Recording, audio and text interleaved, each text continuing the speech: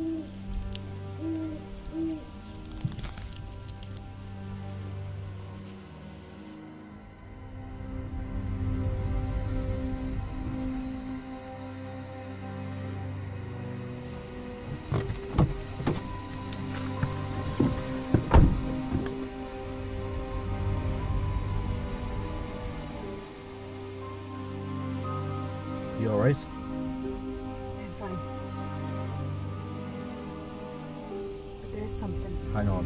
This sounds like a conversation I should be spoken for. Could you hold it outside?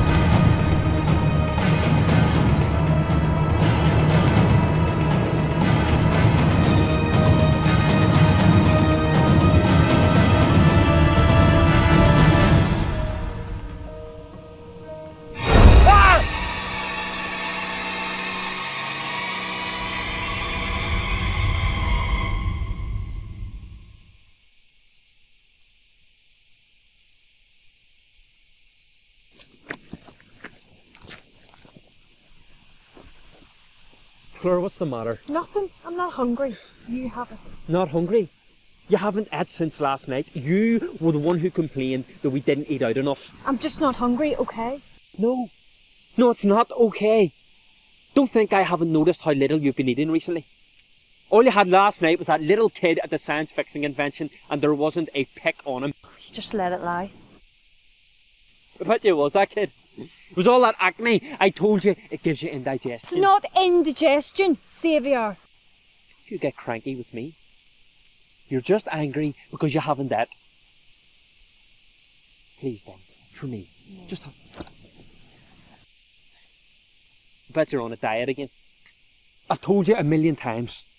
When you become a vampire, you don't need to worry about getting fat, or bad skin, or dandruff, or any of these other things that these mere mortals waste their time obsessing over.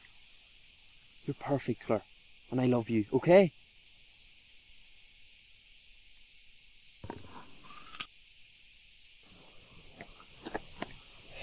Here, have some. He's not half bad.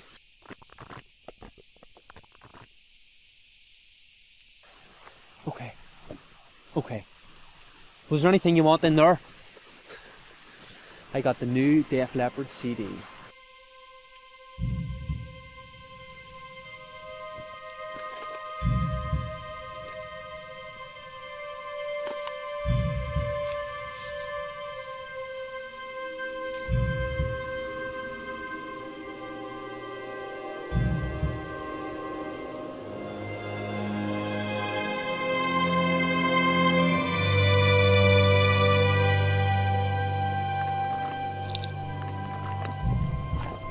Claire, what's wrong? Nothing. See you back at home.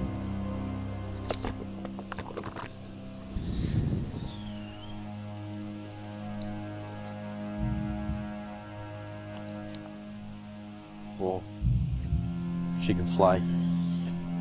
Can you do that? No. Why not? I don't know. Some of us can fly, some of us can't.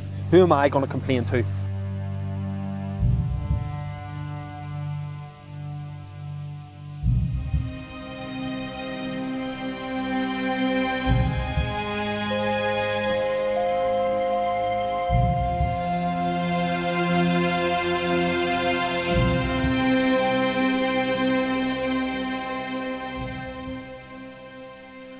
You've got a beautiful girlfriend.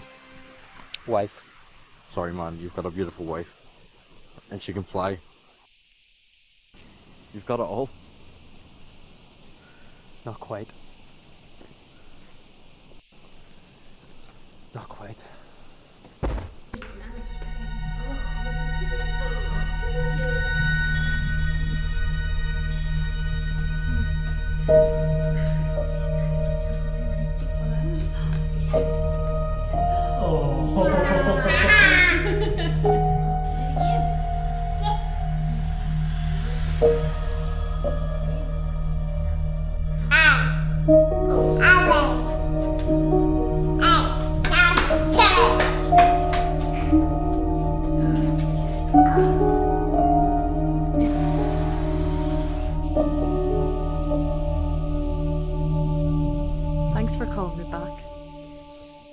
Talk to Xavier about this stuff.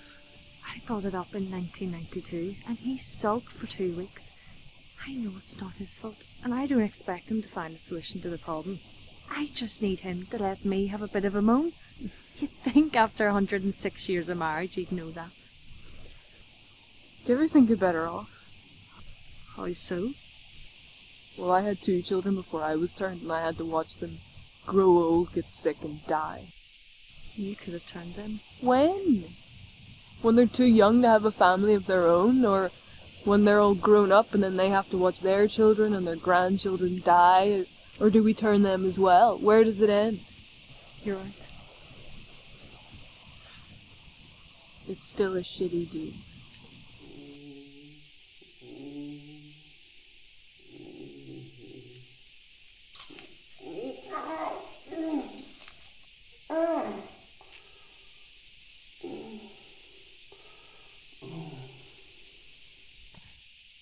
Did you ever consider siring? Yeah, a few times. I got close in 67. We followed this girl for nearly a year. We sat her down, told her everything about our history, give her the required consideration period. And then I got cold feet, and we never went back for it. I remember that. It was Anne, right? Everyone remembers her.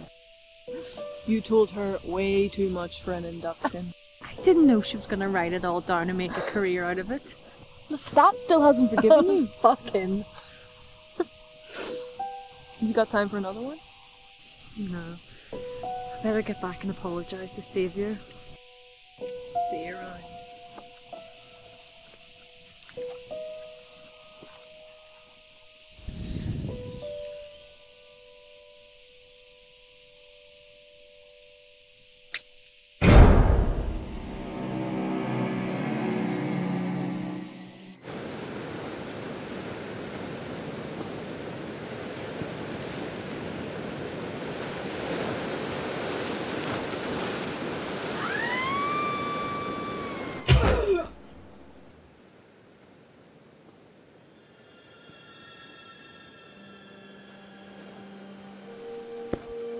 Xavier? You here? I brought some takeaway. Close your eyes. I've got a surprise. Well, what about the. We'll put her on the treadmill and heat her up later. Now, come on. Close your eyes.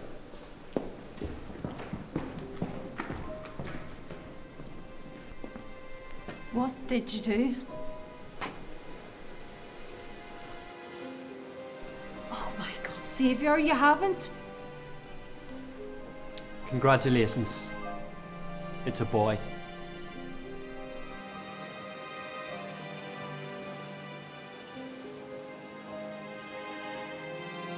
What are we going to call him?